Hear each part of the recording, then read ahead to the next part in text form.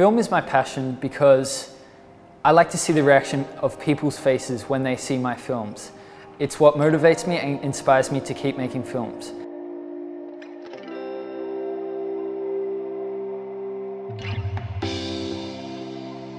Each year, the school normally flies in a professional from overseas to create the school's promotional videos.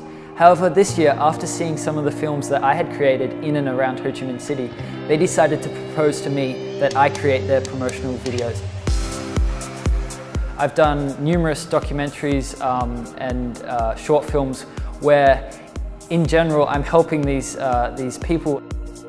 The message I was trying to convey through the film was that ISHCMC is a cool school for students that were looking in and around Ho Chi Minh City, it would be a place where they would want to be with cool people, cool friends, a really nice environment, a warm and welcoming environment as well, and just a generally great place to be.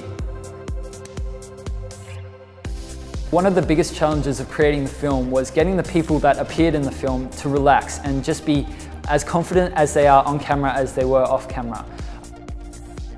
In creating the film, it was relatively simple, however it was very time consuming. Uh, I had to use many of my free periods and uh, after school hours to complete interviews and film uh, cutaway shots for the film. The money I earned from creating the school's promotional videos is going to go towards a New York Film Academy summer course that I'm going to do this summer.